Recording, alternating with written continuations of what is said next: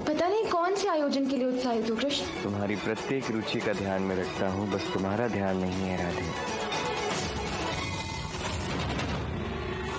यदुवंशियों के मध्य फूट पड़ चुकी है। अब युद्ध होगा। अब द्वारकाधीश का अंत होगा।